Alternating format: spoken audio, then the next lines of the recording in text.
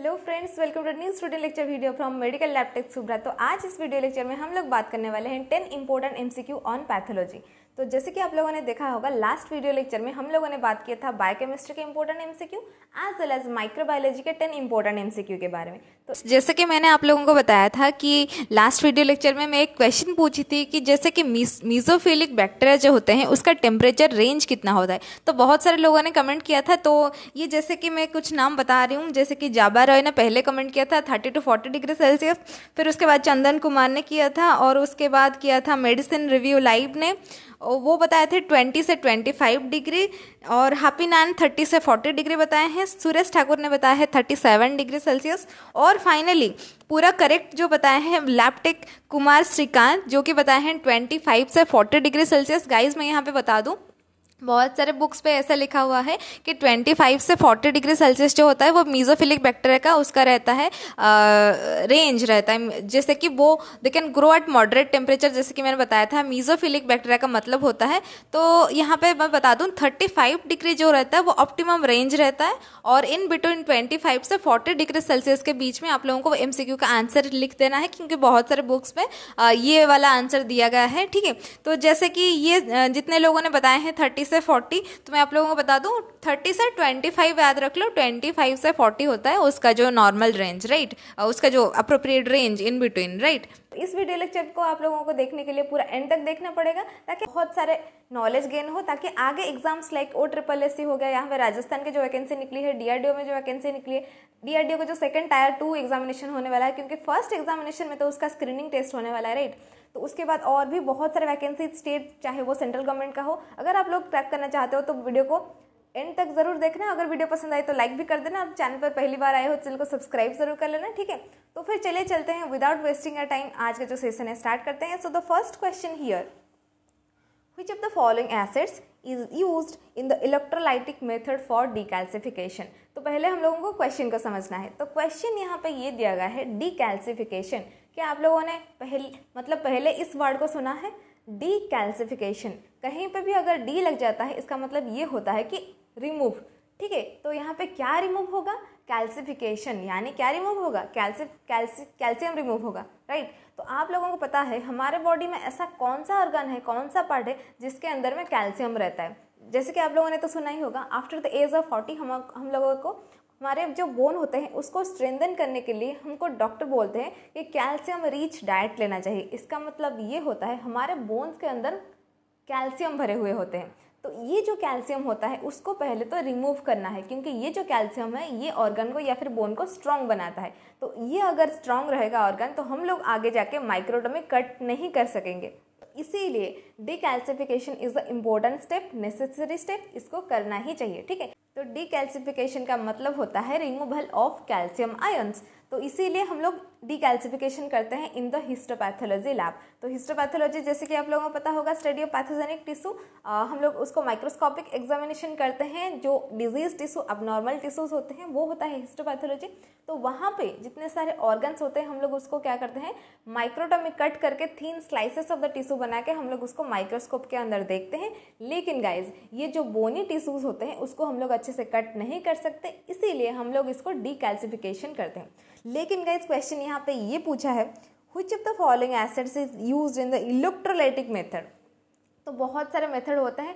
तो यहाँ पे पूछा गया है इलेक्ट्रोलाइटिक मेथड के लिए कौन सा डिकैल्सिफिकेशन डिकैल्सिफाइंग एजेंट यूज़ होता है? क्योंकि नॉर्मली जो हम लोग यूज़ करते हैं nitric acid guys H N O nitric acid हम लोग यूज़ करते हैं। लेकिन इलेक्ट्रोलाइटिक मेथड के लिए हम कौन सा एसिड यूज़ करेंगे? अगर आप लोगों को पता है तो आप लोग नीचे कमेंट सेक्शन में मेरे को बता सकते हो राइट तो चलिए इसका आंसर देखते हैं। तो इसका आंसर हो जाएगा option number A that is a formic acid formic acid एक ऐसा एसिड होता है which is use as a decalcifying agent in the electrolytic method of decalcification ठीक है? वहाँ पे इलेक्ट्रोड रहेगा और करंट पास करके हम लोग क्या करेंगे ना, उसके अंदर डिकैल्सिफिकेशन करेंगे। ठीक है? तो फिर गाइज़ चलिए चलते हैं। ये क्वेश्चन होने के बाद हम लोग नेक्स्ट क्वेश्चन देखते हैं। नेक्स्ट क्वेश्चन जो है, वो बहुत ही इंपॉर्टेंट है गाइज़ हैरिस मेयर और उसके बाद Delafield Ehrlich Bullard and Baumer are all kind of what तो ये जितने सारे नाम मैं बताई हूँ, जिसे आप लोगों ने देख लिया है कि ये सारे क्या होते हैं?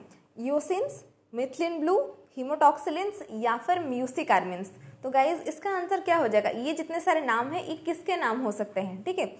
यूसिन के नाम हो सकते हैं क्या? या फिर मिथिलिन ब्लू के नाम हो सकते हैं? तो गाइज़ मैं यहाँ पे बता दूँ इसका आंसर हो जाएगा ऑप्शन नंबर सी, हीमोटॉक्सिलिन। आप लोगों ने देखा होगा, अपने लैब में जो हीमोटॉक्सिलिन यूज़ होता है, हमारे लैब में तो यहाँ पे हैरिस हीमोटॉक्सिलिन यूज़ हो रहा है। तो आपके लैब में कौन सा हीमोटॉक्सिलिन यूज़ होता है, आप लोग मुझे कमेंट करके बताइए। तो इसका आंसर हो जाएगा, ये जितने भी सारे होते हैं ऑल काइंड ऑफ़ हैरिस में, और these are all kind of haematoxylin guys ये भी बहुत ही इंपॉर्टेंट क्वेश्चन है, इसको थोड़ा ध्यान रखना है, ठीक है? तो नेक्स्ट क्वेश्चन जो है, ये वाला क्वेश्चन जो है, हमारा जो ओ ट्रिपल एस एग्ज़ाम हुआ था लेबोरेटरी टेक्नीशियन के लिए, ये क्वेश्चन आया था इस पर तो इसीलिए ये क्वेश्चन को थोड़ा ध्यान से देखना आप लोग। The eosin solutions the eosin solutions use in H and E stains H and E का मतलब यहाँ पे होता है आप लोगों का haematoxylin and eosin stain so are prepared form तो ये जो ईओसिन होता है आप लोगों का एचिस्टेन के लिए जो ईओसिन होता है, ये कौन सा ईओसिन होता है? तो जैसे कि आप लोग सारे ऑप्शन देख पा रहे हो, इसका ऑप्शन देख के आप लोग मेरे को ये बताइए कि ऐसा कौन सा ईओसिन है जो कि हम लोग एचिस्टेन में यूज़ करते हैं? So the option are eosin Y eosin Z eosin C as well as eosin R तो गाइज़ अगर आप लोगों को पता है, मुझे कमेंट सेक्शन में ज़रूर बताइएगा। तो इसका आंसर हो जाएगा the option number A that is eosin Y right eosin Y is the correct answer of this question तो चलिए गाइज़ चलते हैं नेक्स्ट क्वेश्चन थोड़ा सा बड़ा सा क्वेश्चन है, आप लोगों को लगेगा कि बहुत ही डिफ़िकल्ट क्वेश्चन पता नहीं ये मैम ने क्या पूछ लिए हैं। लेकिन गाइज़ अगर आप लोग इसको समझोगे तो बहुत ही ईजी सा क्वेश्चन है। तो क्वेश्चन ये है फॉर फाइन निडल एस्पिरेशंस यानी एफ़ एन एस सी तो आप लोगों को पता होगा एनी अब नॉर्मल टिश्यू को चाहे फ्लूड को हम लोग क्या करते हैं? माइक्रोस्कोपिक एग्जामिनेशन के लिए पहले तो एफ़ एन एस सी करते हैं। एफ़ एन एस का मतलब होता है फाइन नीडल एस्पिरेशन साइटोलॉजी और उसके बाद अगर पता नहीं चलता है और उसके बाद सर्जरी के बाद हम लोग बायोप्सी करते हैं इन द हिस्टोपैथोलॉजी लैब तो क्वेश्चन यहाँ पे साइटोलॉजी से रिलेटेड है. For fine needle aspiration and thick cellular discharges और fluids no centrifugation is required ठीक है? While relatively watery thin and hypocellular fluids smear is prepared from आप लोगों को यहाँ पे थोड़ा सा अपना दिमाग लगाना है टेक्निकल दिमाग लगाना है, क्योंकि आप लोग, क्योंकि आप लोग सारे टेक्नीशियंस हो। तो आप लोगों को यहाँ पे यही दिमाग लगाना है, अगर अगर आप लोगों का थिक डिस्चार्ज या फिर थिक फ्लूड जा रहा है, आप लोग क्या करते हो, उसको स्मियर बना लेते हो इन द स्लाइड एंड उसके बाद उसको स्टेन करके आप लोग माइक्रोस्कोपिक एग्जामिनेशन करते हो। लेकिन गाइज़ अगर आप लोगों को पूरा आ जाता है वाटरी सैंपल वाटरी स्पेसिमेन पूरा जिसके अंदर में आप लोग कुछ भी ना कर पाओ तो आप लोगों को क्या करना पड़ता है? आपने ऐसा कभी सोचा है, अगर पूरा आप लोगों के लिए वाटरी फ्लूड आया है थीन फ्लूड आया है, उसके अंदर से कौन सा टिश्यू कौन सा फ्लूड आप लोग लेके उसको स्मियर करोगे? क्योंकि आप लोग अगर स्मियर करोगे वो, ये तो वस हो जाएगा। तो क्या आपने ऐसा सोचा है कि इसको हम लोग कैसे कर सकते हैं? तो ऑप्शन सारे, जैसे कि centrifuge sediments centrifuge supernatant none of this और ऑप्शन नंबर डी में दिया गया है बोथ ऑफ़ द एबव इसको हम लोग क्या करते हैं ना सेंट्रीफ्यूज ही करेंगे, क्योंकि वाटरी लिक्विड है। वाटरी लिक्विड को हम लोग क्या करते हैं ना सेंट्रीफ्यूज करने के बाद यहाँ पे ऑप्शन सारे जैसे कि दिया गया है सेंट्रीफ्यूज सुपरनेटेड यानी जो हम लोग सेंट्रीफ्यूज करने के बाद जो अपर सरफेस रहता है, ऊपर का जो हिस्सा होता है, उसको बोलते हैं सुपर सुपरनेटेंट और उसके बाद नीचे जो बॉटम लेयर में रहता है तो that is called centrifuge sediments और उसके बाद आता है नॉन ऑफ़ दिस या फिर बोथ ऑफ़ द एबव मतलब सुपर को भी लेना चाहिए एज वेल एज आप लोगों को सेडिमेंट को भी लेना चाहिए। तो गाइज़ आप लोगों ने यूरिन को तो एटलीस्ट आप लोगों ने सेंट्रीफ्यूज किया होगा। तो आप लोगों को क्या लगता है, इसका कौन सा पोर्शन लेना चाहिए, आप लोग मुझे कमेंट सेक्शन में ज़रूर बताइए।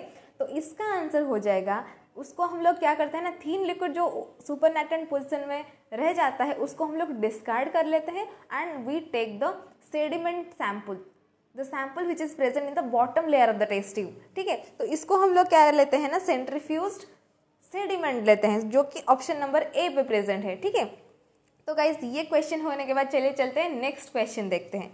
तो smear should be prepared and fixed immediately for cytology for cytology because तो साइटोलॉजी में आप लोगों ने देखा होगा, जब एफ़ करके हम लोग स्पेसिमेन या फिर सैंपल को कलेक्ट कर लेते हैं, उसके बाद हम लोग क्या करते हैं ना स्मियर बना लेते हैं। ये जो स्मियर तुरंत बना लेते हैं, क्या अगर हम लोग स्मियर तुरंत ना बना के अगर बहुत टाइम तक हम लोग क्या करते हैं ना वो सैंपल को, वो जो फ्लूड को अगर बाहर रख लेंगे विदाउट प्रिपेयरिंग एनी स्मियर क्या ये सही रहेगा? अगर सही रहेगा तो क्यों रहेगा? अगर सही नहीं रहेगा तो फिर क्यों रहेगा? तो फिर यहाँ पे जैसे कि ऑप्शन सारे देख लेते हैं, उसमें से आप लोगों को पता चल जाएगा। Exfoliated cells degenerate rapidly exfoliated cells may be blown away the nuclei of the cells get extruded from the cell cytoplasm develops granularity तो ऑप्शन नंबर ए का मतलब क्या है इसको थोड़ा समझते हैं एक्सपोलेटेड सेल्स डीजेनरेट रैपिडली जो सेल हम लोग कलेक्ट करें वो दिस आर एक्सपोलेटेड सेल्स ना तो ये क्या हो जाता है ना तुरंत डीजेनरेट या फिर ब्रेक डाउन हो जाते हैं क्या या फिर एक्सपोलेटेड सेल्स में भी ब्लोन आवे, ऐसा हो सकता है कि वो एक्सपोलेटेड सेल जो है वो फ्लो कर जाएँगे ब्लोन आवे, या फिर the nuclei of the cells get extruded from the cell ऐसा क्या हो सकता है कि वो सेल को, अगर हम लोग वो फ्लूड को बाहर रख लेते हैं विदाउट प्रिपेयरिंग एनी स्मीयर वो सारे सेल्स के जो न्यूक्लियाई होते हैं, वो एक्सक्लूड हो जाएँगे वहाँ से। या फिर आप लोगों को लास्ट ऑप्शन में दिया गया है साइटोप्लाज्म डेवलप्स ग्रैनुलरिटी क्या फिर ऐसा हो सकता है जो सेल साइटोप्लाज्म है इट विल डेवलप ग्रैनुलरिटी मतलब अपने आप ही वो ग्रानुलरिटी वो डेवलप करेगा। क्या ये हो सकता है? तो गाइज़ आप लोगों को क्या लगता है? इसका आंसर क्या हो जाता है? हम लोग तुरंत F N S C collection करके, हम लोग तुरंत स्मीयर बना लेते हैं और फिक्स भी कर लेते हैं जो, जिसको चाहिए होता है। तो ऐसा हम लोग क्यों करते हैं? अगर हम लोग नहीं करेंगे तो क्या प्रॉब्लम हो जाएगा? तो गाइज़ ये बहुत ही इंपॉर्टेंट क्वेश्चन है गाइज़ ये भी ओ ट्रिपल एस एग्ज़ाम में आया था हमारा। तो इसका आंसर हो जाएगा option number A that is exfoliated cells degenerate rapidly ये क्या हो जाता है ना? डीजनरेट हो जाता है, तुरंत ही डीजनरेट हो जाता है। इसीलिए गाइज़ हम लोग क्या करते हैं? तुरंत ही उसका स्मीयर बना लेते हैं, ठीक है? तो चलिए गाइज़ ये क्वेश्चन होने के बाद हम लोग चलते हैं बहुत ही ईजी सा सवाल, जो कि आप लोग तुरंत ही इसका आंसर दे दोगे। तो जिसका आंसर है for fluid cytology fluid has to be collected in अगर आप लोग साइटोलॉजी में फ्लूड साइटोलॉजी कर रहे हो तो आप लोगों को वो वाला जो फ्लूड है, किसके अंदर कलेक्शन आप लोग कर सकते हो? E D T A vial यानी ethylene diamine tetra acetate anticoagulant जिसके अंदर में प्रेजेंट है, या फिर सोडियम साइट्रेट वाइल जिसको आप लोग क्या यूज़ करते हो? 3.8 परसेंट सोडियम साइट्रेट वाइल भी आप लोग यूज़ करते हो और उसके बाद प्लेन वाइल यानी जिसके अंदर में कोई भी एंटीकोगुलेंट नहीं प्रेजेंट होता है एंड फाइनली है नॉन ऑफ़ दिस या फिर इसमें से कोई भी आप लोग वाइल जो है वैक्यूटेनर जो है यूज़ नहीं कर सकते हो for collecting fluid sample in fluid cytology तो आप लोगों को क्या लगता है? इसका आंसर क्या हो जाएगा? फ्लूड साइटोलॉजी के लिए हम लोग फ्लूड तो कलेक्ट करेंगे। क्या इसका भी कोआगुलेशन हो सकता है? क्या इसका कोआगुलेशन होता है? इसलिए क्या हमको एंटीकोआगुलेंट यूज़ करना चाहिए? या फिर ब्लड के लिए ही सिर्फ़ एंटीकोआगुलेंट यूज़ होता है? या फिर हम लोग फ्लूड को भी कुछ ऐसे फ्लूड होंगे जिसके अंदर में हम लोग एंटीकोआगुलेंट ऐड करके उसको कोआगुलेशन से बचा सकते हैं। तो आप लोग थोड़ा सोचिए कि कोआगुलेशन क्या होता है। कोआगुलेटिंग फैक्टर्स क्या होते हैं? क्या ये कोआगुलेटिंग फैक्टर्स जो प्रेजेंट होते हैं सेरम और प्लेज्मा में, क्या ये इसके, ये वाले फ्लूड में भी प्रेजेंट होते हैं? क्या ये वाला फ्लूइड एंटीकोआगुलेंट हम लोग ऐड करके उसको कोआगुलेशन से बचा सकते हैं? या फिर इसका कोआगुलेशन ही नहीं होता? मेरे को नहीं पता। आप लोग मुझे कमेंट सेक्शन में इसका आंसर ज़रूर बताएँगे, ठीक है? तो इसका आंसर हो जाएगा option number C that is plain vial जब हमारा ये ब्लड ही नहीं है तो इसका कोआगुलेशन क्यों होगा? Is are the fluid right तो फ्लूड साइटोलॉजी के लिए हम लोग क्या यूज़ करते हैं? प्लेन कंटेनर यूज़ करते हैं, जिसके अंदर में कोई भी एंटीकोगुलेंट कोई भी केमिकल नहीं होना चाहिए। नहीं तो it will affect the characteristic of that fluid ठीक है? तो फिर चलिए चलते हैं गाइज़ नेक्स्ट क्वेश्चन की तरफ़ ये क्वेश्चन जो है स्पेशल स्ट्रेनिंग के ऊपर है। जैसे कि आप लोगों को नॉर्मली पता होगा पैथोलॉजी में हम लोग हीमोटॉक्सिलिन एंड योसिन स्ट्रेन करते हैं पाप स्ट्रेन करते हैं डीपोइक स्ट्रेन करते हैं। ऐसा लेकिन बहुत सारे स्पेशल स्ट्रेन भी होते हैं, जैसे कि पास स्ट्रेन हो गया एल्सियन ब्लू स्ट्रेन हो गया। तो ये गाइज़ यहाँ पे क्वेश्चन ये पूछा गया है combined alcian blue as well as PAS technique is use to separate तो यहाँ पे एल्सियन ब्लू एक स्टेन होता है, ये कौन सा, ये क्या चीज़ को स्टेन करता है? ये स्टेन करता है एसिडिक म्यूसिन को। ये स्टेन करता है एसिडिक म्यूसिन को, जो कि पहले म्यूसिकार्बिन स्टेन होता था, लेकिन ये गाइज़ एल्सियन ब्लू स्टेन में हम लोग एसिडिक म्यूसिन को आप लोग क्या करते हो? स्टेन करते हो। उसके बाद दिया गया है पास स्टेन पास यानी पर आयोडिक स्किप इसका फुल फॉर्म भी कभी कभार पूछ लेगा। आप लोग इसका स्पेलिंग थोड़ा देख लीजिए। पर आयोडिक स्किप ये होता है पास एंड यूज़ ये यूज़ करते हैं हम लोग कार्बोहाइड्रेट जैसे कि ग्लाइकोजन जैसे चीज़ों को देखने के लिए ये स्पेशल स्टेन यूज़ होता है। लेकिन क्वेश्चन यहाँ पे पूछा गया है कंबाइंड मतलब दोनों मिला के combined alcian blue as well as PAS technique is use to separate क्या क्या चीज़ को ये सेपरेट करने के लिए ये दोनों कंबाइंड होके ये जो स्टेन यूज़ होता है तो जैसे कि ऑप्शन सारे आप लोग देख पा रहे हो तो ये यूज़ होता है ऐसा कौन सा स्टेन को सेपरेट करने के लिए? Alkaline mucin and neutral mucin acid mucin या फिर न्यूट्रल म्यूसिन तो ऐसा कौन सा चीज़ है, ये दोनों को सेपरेट करने के लिए यूज़ होता है? आप लोग मुझे कमेंट सेक्शन में बता दीजिए। तब तक मैं इसका आंसर बता देती हूँ। इसका आंसर हो जाएगा option number A that is acidic mucin as well as neutral mucin को सेपरेट करने के लिए ये जो combined alcian blue as well as PAS stain use होता है, ठीक है? अगर इस क्वेश्चन में आप लोगों को कोई भी डाउट लगता है, आप लोग मुझे कमेंट करके बता सकते हो, ठीक है? तो गाइज़ हम लोग आके पहुँच गए हैं नेक्स्ट क्वेश्चन के पास। नेक्स्ट क्वेश्चन है I S C is most useful in तो पहले हम लोगों को पता करना पड़ेगा कि ये आई सी होता क्या है। इसी का मतलब होता है इम्यूनो हिस्टोकेमिस्ट्री तो इम्यूनो हिस्टोकेमिस्ट्री में क्या होता है? अरे हिस्टोपैथोलॉजी लैब में जो भी सैंपल आता है, अगर इसमें हम लोगों को कैंसर मिलता है या फिर अबनॉर्मल टिश्यू सेल्स दिखाई देते हैं, उसको हम लोग पूरा क्लैरिटी लाने के लिए कन्फर्मेशन के लिए हम लोग करते हैं I H C immunohistochemistry right detect the markers abnormal tissue markers तो आप लोग ये पूछोगे कि ये मार्कर क्या होता है? अबनॉर्मल टिश्यूज के अंदर में एक मार्कर प्रेजेंट होता है, उसको डिटेक्ट करने के लिए हम लोग यूज़ करते हैं इम्यूनो हिस्टोकेमिस्ट्री जैसे कि आप लोगों ने देखा होगा इम्यूनोलॉजी में एंटीजन एंटीबॉडी रिएक्शन होता है, यहाँ पे भी गाइज़ वैसे ही एंटीजन एंटीबॉडी रिएक्शन के बाद ही पता चलता है कन्फर्मेशन ऑफ़ कैंसर तो आप लोग पूछोगे ये कैसे होता है?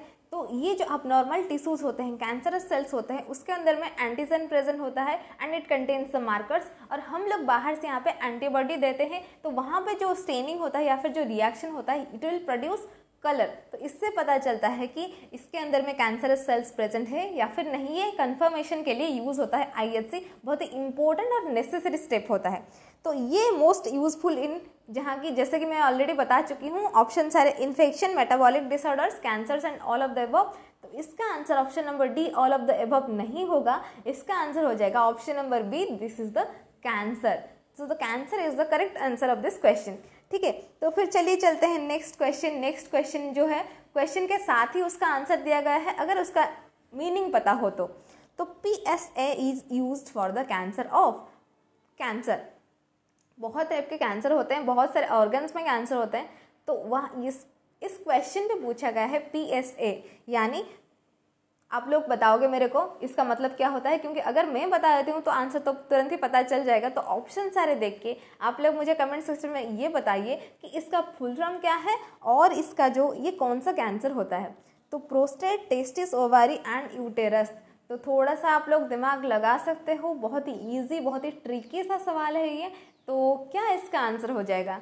तो इसका आंसर हो जाएगा, ये होता है प्रोस्टेट स्पेसिफिक एंटीजन ये जो कैंसर हम लोग किस चीज़ के लिए करेंगे? ऑब्वियसली प्रोस्टेट के लिए ही करेंगे ना। तो इसीलिए इसका आंसर हो जाएगा option number A that is the prostate मज़ा आया ना? तो चलिए गाइज़ नेक्स्ट क्वेश्चन की तरफ़ चलते हैं। नेक्स्ट क्वेश्चन आप लोगों के सामने ये दिया गया है। Which of the following electromagnetic radiation carries maximum risk ये वाला क्वेश्चन भी हमारे ओटर पॉलिसी में आया था, लेकिन थोड़ा सा घुमा फिरा के आया था। तो इसीलिए ये थोड़ा क्वेश्चन भी आप लोगों को अच्छे से देखना है। तो जैसे कि इलेक्ट्रोमैग्नेटिक रेडिएशन जो होता है, वो बहुत तरह से होता है, जैसे कि अल्फ़ा रे गामा रे यूवी रे तो ये सारे रेडिएशंस होते हैं। तो इसमें से ये पूछा गया है मैक्सिमम रिस्क कौन सा इलेक्ट्रोमैग्नेटिक रेडिएशन पे है? तो ऑप्शन सारे जैसे कि आप लोग देख पा रहे हो alpha rays gamma rays beta rays as well as X rays so the answer of this question क्या होगा? आप लोग कमेंट सेक्शन में बताइए। तब तक मैं बता देती हूँ, इसका आंसर डायरेक्ट आंसर है। कोई भी मतलब यहाँ पे कोई भी हम लोग सोच के, हम लोग इसका एनालाइज कुछ नहीं करना है। Option number B that is the gamma ray will be the correct answer of this question ये सवाल के साथ हमारा जो है, इसका जो ten important MCQ and pathology खत्म हो जाता है। अगर आप लोगों को कोई भी डाउट होता है, आप लोग मुझे कमेंट करके बता दीजिए। अगर वीडियो पसंद आया तो लाइक करना मत भूलना और चैनल को सब्सक्राइब करके जाना, ठीक है? तो फिर आप लोग मुझे कनेक्ट करना चाहते हो तो आप लोग मुझे इंस्टाग्राम आप लोग मुझे इंस्टाग्राम पर भी फॉलो कर सकते हो my Instagram I D is the description अगर आप लोग चाहते हो कि हम लोगों का लाइव क्लास थोड़ा सा हो, हम लोग थोड़ा ग्रुप डिस्कशन करें, कि आप लोग थोड़ा क्वेश्चन पूछे और मैं थोड़ा क्वेश्चन पूछूँगी और वहाँ पर डिस्कशन हो जाएगा, ताकि आगे जो एग्जामिनेशन वैकेंसीज आ रहे हैं, हम लोग उसके बारे में डिस्कशन कर सके तो प्लीज़ कमेंट डाउन कि वी वांट लाइव क्लासेस ठीक है? तब तक के लिए इस वीडियो को अच्छे से देखते रहिए. Thank you